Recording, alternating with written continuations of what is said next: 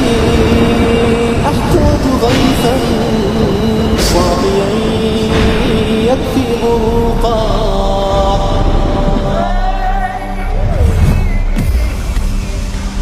এক কোটি সাতাশ লাখ পঞ্চাশ হাজার টাকা আত্মসাতের অভিযোগে জামায়াত নেতা যুদ্ধাপরাধ মামলার আমৃত্যু কারাদণ্ডপ্রাপ্ত আসামি দেলার হোসেন সাইদ মহাসচিব ও ঢাকা মহানগর সাধারণ সম্পাদক মামুনুল হককে গ্রেপ্তার করেছে পুলিশ। চট্টগ্রামের লালখান বাজার থেকে র্যাবের হাতে গ্রেফতার হয়েছেন আঠারো মামলার আসামি হারুন ইসলাম। বরগুনা থেকে আটক করা হয় আনসারুল্লাহ বাংলা টিমের প্রধান মুফতি জসিমউদ্দিন সহ একত্রিশ জনকে। নিষিদ্ধ জঙ্গি গোষ্ঠীটির এই শীর্ষ নেতার অত্যন্ত ঘনিষ্ঠ আলী হাসান ওসামা গ্রেফতার হয়েছে। বিতর্কিত ইসলামী বক্তা মুফতি কাজী ইব্রাহিমকে আটক করেছে ডিবি পুলিশ। আনসার আল ইসলামের নেতা ও উগ্রবাদী বক্তা মাহমুদ হাসান গুরবিরকে গ্রেফতার করা হয়েছে। রাষ্ট্রবিরোধী ও উস্কানিমূলক বক্তব্য এবং রাষ্ট্রের শীর্ষ ব্যক্তিদের নিয়ে কটাক্ষ করার অভিযোগে করা মামলায় গ্রেপ্তার কথিত শিশু বক্তা রফিকুল ইসলাম মাদানী সন্ধ্যায় লালবাগ থেকে ডিবির একটি টিম মুফতি সাখাওয়াত হোসেন রাজি সহ তিনজনকে আটক করে পরে তাদের দুই সালের মামলায় গ্রেপ্তার দেখিয়ে রিমান্ড আবেদন করে পুলিশ।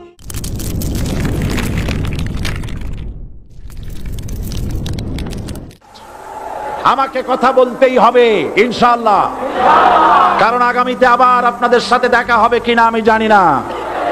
আমি দেখতে পাচ্ছি বাংলাদেশের ভাগ্য আকাশে উত্তর গগনে কালো মেঘ জমা হয়েছে। ঝড়ের পূর্বাভাস লক্ষ্য করছি। যদি মোকাবেলা করতে না পারেন সক্ষম ভাবে এমন অন্ধকার গাঢ়, কালো অমাবস্যার রাত আসতে পারে, যার সুবে সাদে খাওয়া অসম্ভব। সুতরাং আপনারা কি কা পুরুষের মতো কাফের মুশ্রিকদের গোলামি করে মরতে চান? বিড়ালের মতো পাঁচশো বছর বেঁচে থাকার কোনো লাভ নাই। সিংহের মতো এক ঘণ্টা বাঁচতে চাই মানুষে আর বোকা বানানো যাবে না। যাবে কি? আর বোকা বানানো যাবে? আমাকে বলছে, রাজাকার।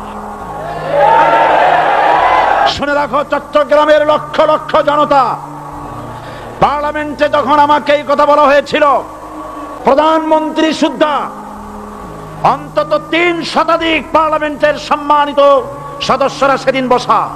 উনিশশো সাতানব্বই সনের বাজেট বক্তৃতা যখন আমি করতেছিলাম, ডক্টর কুদরতে খোদা, নাম রাখছে কুদরতে খোদা, আসলে গজবে খোদা।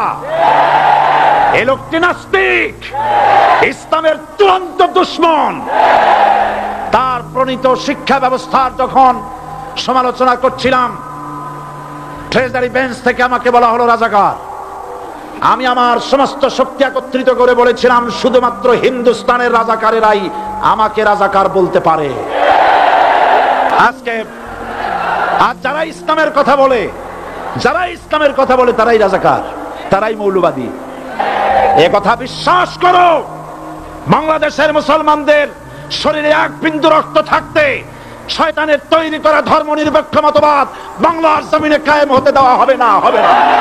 কার কথা? কাদিয়ানিদের পক্ষ যারা নেবে? রাশেদ খান মেনন, হাসানুল হক ইনু, মুরগি চোরা শাহরিয়ার কবির গং এই ইনু আর মেনন নৌকার খয়রাত নিয়ে এমপি হয়ে সংসদে গিয়ে সংসদে গিয়ে খতমে নবুয়তের বিরুদ্ধে কথা বলবে আর আকাদিয়ানিদের দালালি করবে। পরিষ্কার বলতে চাই নাসিমের মুখটা সামলায় রাখেন। যদি নাসিম আপনার দলের মুখপাত্র হয়ে থাকে, আর ওটাই যদি হয় আপনার দলের বক্তব্য, আমরা আগামী পাঁচই মে শাইখুল ইসলাম আল্লামা শাহ আহমদ শফির ডাকে আবার শাপলা চত্বরে যাব, আবার শাপলা চত্বরে যাব কথা হবে আজকে পরিষ্কার এটা।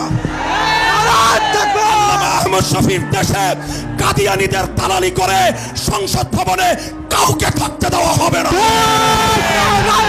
যদি আরেকটা যুদ্ধের প্রয়োজন হয়, আবার সাপলা চত্বরে যেতে কারা কারা প্রস্তুত? আমি রাষ্ট্রপতি মানি, যদি রাষ্ট্রপতি ইসলাম মানি। আমি প্রধানমন্ত্রী মানি, যদি প্রধানমন্ত্রী আল্লাহরে মানি। কোন নাস্তিক প্রধানমন্ত্রীর আমি মানি।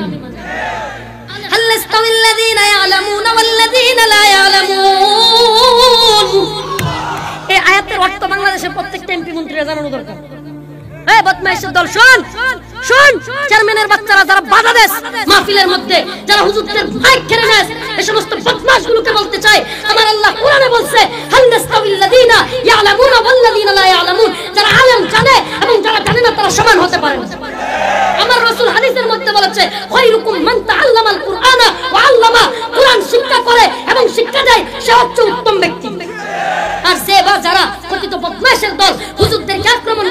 হামলা দিতে চায়, মামলা করতে চায় নিয়ে যাইতে চায়, বুঝতে হবে এরা কোরআনের জ্ঞান জানে না, এরা রসুলের আদর্শের অনুসারী না। এরা মূলত ব্যক্তি পূজারী, দলের পূজারী, আর দল পূজারী না। ক্ষমতাসীন আওয়ামী লীগের সাধারণ সম্পাদক সৈয়দ আশরাফ সাহেব মারা গেল। সেই কবরের মধ্যে এক বছর হয়ে গেছে। সাংবাদিকরা মনে করছে সৈয়দ আশরাফ সাহেবের কবরের পাশে মনে হয় অনেক নেতারা আসবে মৃত্যুবার্ষিকীতে। সে ছবি নিবে, বিবৃতি নিবে। হাই হাই, কাহিনী কি? একজন বড় নেতাও আওয়ামী লীগের আসে নাই। এরপরেও কি তোদের শিক্ষা হয় না? ময়রা দেখ বেটা দাম্ভিকতা আর ক্ষমতার আস্ফালন কোথায় গিয়ে থেকে? দুইটা বন্ধ বুঝবি। দুই- জমিন চাকা। জোরে বলেন কা কোরআন কা এই যে কোরআন এটা কার? জমিন টাকা আরে আল্লাহর জমিন হ্যাঁ মুসলমান, এই মাইন্ডটা সেটা আপনারা এই দৃষ্টিভঙ্গিটা পারেন না। এইটা একটু মাথায় নেন না। আল্লাহর জমিনে আল্লাহর কোরআনের কথা চলবে। কারও অর্ডারের তো একটা করার সময় আছে। হ্যাঁ এটা বুঝেন না? সবকিছু খালি মানতে শিখছে সবকিছু মানতে হবে। মাহফিল বন্ধ। ঠিক আছে আচ্ছা ঠিক আছে আগামী বছর করব। বক্তার লিস্ট হয়েছে। এই লিস্টি ছাড়া কি বক্তা নাই? হুজুরদের কি আনব? আরে আমি আজকে উনিশ জনের লিস্ট হয়েছে। কালকে আপনার এই মাইনা নেওয়ার কারণে আটত্রিশ জনের লিস্ট হবে। যে যুদ্ধ ইসরায়েল চাপিয়ে দিচ্ছে আমাদের বিরুদ্ধে, যে যুদ্ধ ভারত চাপিয়ে দিচ্ছে, আমি স্পষ্ট বলতে চাই, এই দেশের সরকারের বিরুদ্ধে কোনো যুদ্ধ আমাদের নাই। এটা তো একটা দুর্বল সরকার, তার বিরুদ্ধে কি লড়াই করব আমরা? সাবেক নেতার সাথে কিসব লড়াই করব এখানে? আওয়ামী লীগ তো গণের বাইরের জিনিস, আর হিন্দুরা তো একেবারে মিসকিন। এই দেশে লড়াই হবে, এই দেশ থেকে লড়াই হবে ইনশাআল্লাহ। ওই ইহুদিদের বিরুদ্ধে লড়াই হবে ইনশাআল্লাহ। মার্কেটের বিরুদ্ধে লড়াই হবে ইনশাআল্লাহ। এবং ভারতের মোদীকে বলে দিচ্ছে খবরটা যা করেছে অতীতে, সামনে মোল্লাদের বিরুদ্ধে কদম ফেলতে খুব সাবধান। এক কদম সামনে আসবে, সেই কদম ভেঙে দেওয়া হবে, সেই কদম। সেই কদম হাত ভেঙে দেওয়া হবে সে হাত।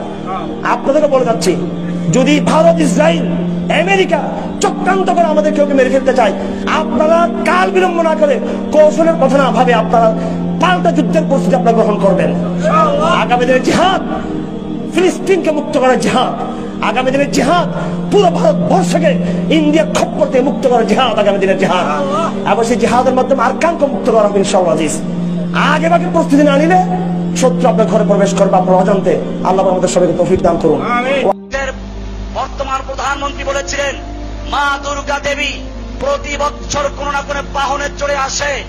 এবার এসেছে গজে চড়ে, আর আমরা জানি মা দুর্গা দেবী গজে চড়ে যখন পৃথিবীতে আসে, তখন পৃথিবী ধনে ধন্যে পরিপূর্ণ হয়ে যায়। আর বাস্তবে এবার তাই হয়েছে, বাংলাদেশ এবার ফসল বেশি হয়েছে। তার মানে হচ্ছে, তার আকিদা, তার বিশ্বাস কি সুন্দর ভাবে তুলে ধরলো যে মা দুর্গা দেবী গজে চলে এসেছে বলে পৃথিবীতে ফসল বেশি হয়েছে।